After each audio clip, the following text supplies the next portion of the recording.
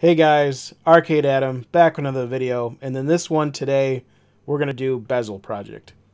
So, it's real simple, get in a browser, Google Bezel Project. You want to make sure it's the x86 for Windows repository. Um, they make this for RetroPie and some other uh, systems as well, so make sure you get the Windows version, because that's what we're using with Hyperspin and or Launchbox. Go to the website, scroll all the way down, get the download. It's right in the releases page. They update this a lot. Like this thing is getting updated all the time. The last release was on May 5th. So grab whatever the latest release is when you're watching this video, download it, install it. All the default options are fine. Fire it up. It's got a, you know, instructions. Pluck them and file them. This is important though. Uh, this is telling you to set the preferences and the paths before you do anything. So I'll show you how you do that real quick. So ignore 1 through 4 up there you want to go to the preferences button. You don't need any of that 1 through 4 stuff. Okay, target directories. This is where you put in your path. So for you guys that are running Rocket Launcher and Hyperspin, you want the last one on the list. I'm going to be using RetroArch because that's what I use with Big Box, uh, but it works with both. You can do both at the same time. So here you go. This is how you find Rocket Launcher. You click the Browse button. You go to your Rocket Launcher root directory. You hit OK, and you're good. Now before you leave this page, the other thing you want to look at is your theme style. You can have the per game theme style. So these guys have made a theme for every single individual game, which is awesome. Or you can have the system art, which just tells you it's Game Boy or it's Genesis or whatever. So real quick, I'm going to disable uh, my master, or sorry, Mega Drive, because in America that's Sega Genesis. So we're going to disable it. We're going to say yes to overwrite. I want to show you what it looks like with it off. So we're going to hit OK and exit, and we're going to launch up Big Box.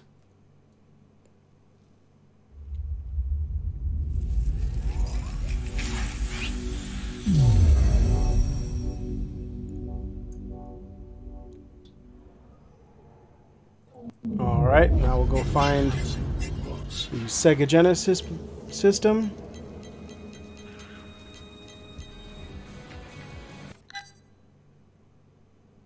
And we'll fire up a game. Miss Pac-Man, why not?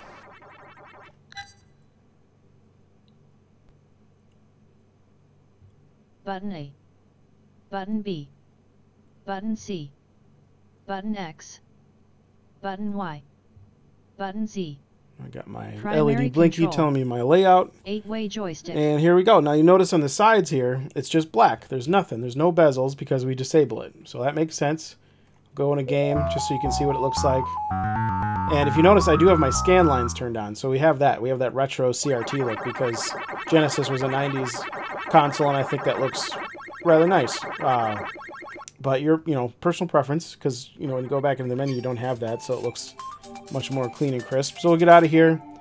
We'll go back into uh, Bezel Project. I just, I love these videos. I don't know if you guys have this one for Genesis, but the music and the art, fantastic. Anyway, let's get out of here. Let's go back into Bezel Project, and we'll re-enable that, and we'll read through these instructions like we're supposed to, yada, yada, yada. Now, um, see, you can process for RetroArch, but you guys would hit process for Rocket Launcher if you have Rocket Launcher. So hit OK. There's disabled Mega Drive, aka Sega Genesis. Now enabled it. Okay, so I skipped a step in the beginning because I already had it downloaded, and I already tried to make this video several times showing the process of downloading, but every time it either took forever or crashed my recording software. So just to explain real quick, you can process for RetroArch, for MAME, for anybody, and then you go in here and you can download. But before you do that, you want to hit Update Install Script because that gets the latest list of artwork to download. So hit OK on that, and then go back and look at these systems. So you can see, you can see I already had the Atari systems installed. I don't have the Game Boy systems or Game Boy Advance installed, so I could add those. I could update MAME. They're updating it all the time, so you get new artwork, different artwork, or whatever. But once you hit OK, when you hit Update, it's going to download a really large file, like gigabytes, like huge, because it's every artwork for every game. So be careful with that. But that's how you download and process the artwork before you do what I did, and I showed you how to do it. Sorry I can't record it for this video, but just wanted to point that out real quick. So anyway, we'll go back into Big Box. I re-enabled the bezels. Let's get back into Genesis, and we'll fire up Miss Pac-Man again, and we'll see what it looks like with some bezel artwork.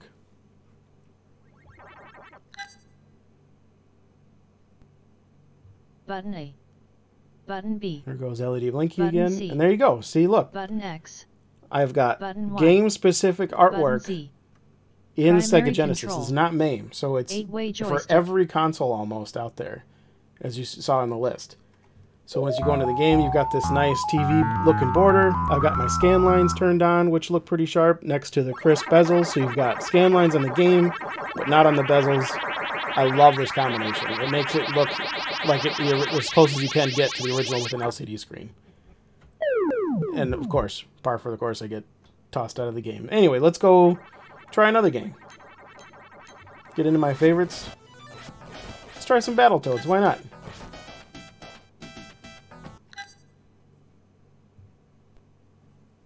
Button A. Button B. Button C. Button X. Oh, that looks sweet. Button Y. Button Z. So we got control. game-specific artwork for Battletoads. Got our scan lines. and our cheesy dialogue. All right, let's find another game. Uh, Primal Rage. Let's check that one out. Let's see what that's got to have some cool artwork. Button A. Button B. Button C. Oh, Button nice. X. Looking good. Button Y. Primal Rage Button bezels. And they've got the Primary theme control. going, so it kind of looks uniform. joystick. You know, with the, the squares down at the bottom with Genesis, they kind of had that theme on their box art, you know, originally when you bought the game. So, okay, those were popular games. Let's try to find an obscure game so I can prove to you that, like, yes, every game has a bezel. Okay, Zany Golf. Never heard of it. I'm sorry if this was your jam or this is a much bigger deal that I'm not aware Button of, but Button let's see if this one's got in, uh, custom bezels. Button and it does. X. Button Y. Got a Zany Golf logo in the lower left and some Primary control. picnic table joystick. golf looking craziness going on. I've never heard of this thing. Uh, shout out to you if you this was your jam back in the 90s, but why not? Let's take a stab at it for a second here. How does this work? uh, hold down button A and release A. Okay, so I have to go call my shot with the cursor. Uh, okay, go over here.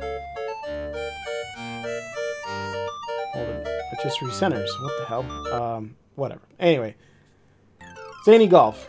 There you go. Let's find another one. Um, something we've I've never heard of, which shouldn't be too difficult.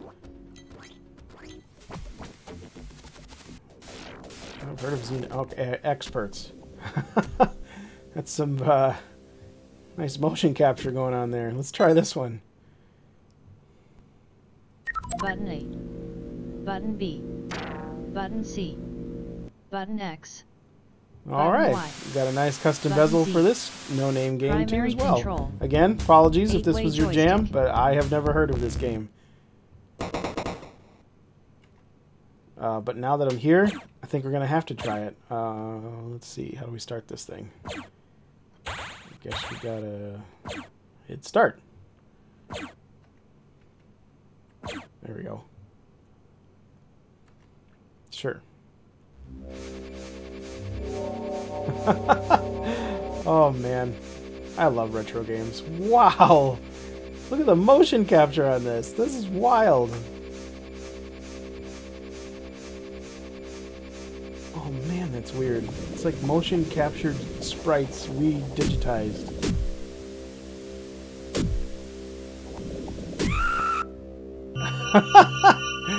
oh, weird.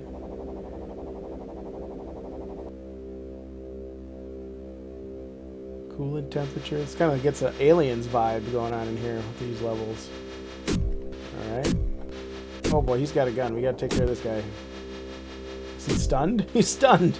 All right. What about you? Oh, there we go. okay, I think that's enough of that. All right. Uh, how about one more? I mean, why not? It's Genesis. Oh, no, let's try a different system.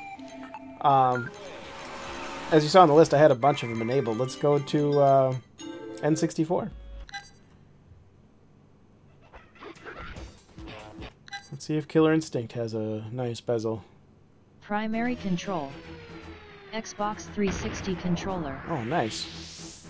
As you can see, I have the bezels turned on here, but I don't have the scan lines turned on because this is a, a newer system, and I think N64 looks a little better without scan lines. But your preference. You can turn those on or off um, I can do a different, separate video on scan lines because, like I was saying earlier, I use RetroArch, so you can do a lot of different goofy things with that.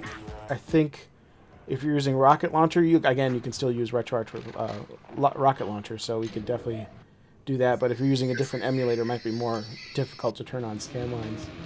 Uh, let's find another one. Jeopardy. Sure. Let's see if this one's got a custom bezel.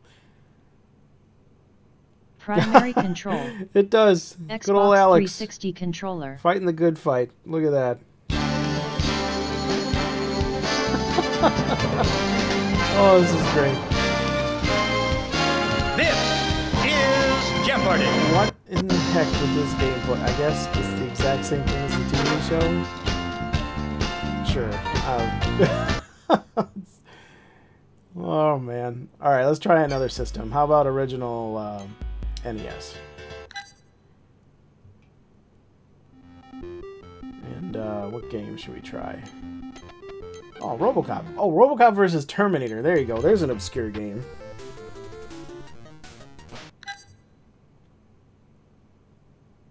Button B.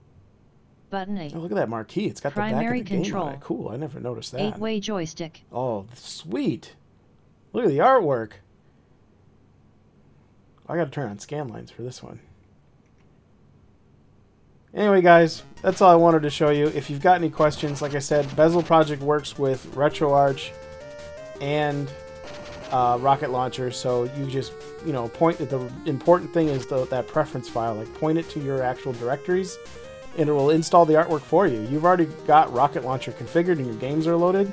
You're done. That's it's gonna, you know, if you've got bezels enabled, it'll just turn these on for you and install them all and you're good to go. That's the beautiful thing about Bezel Project is it's a really easy utility to use once you get it uh, up and running.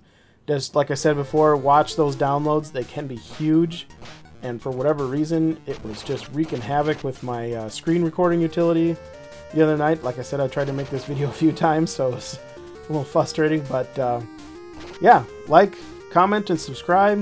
If you got any questions, put them in the comments below. I'll get to them. I'll help you out with this. And uh, thanks for watching.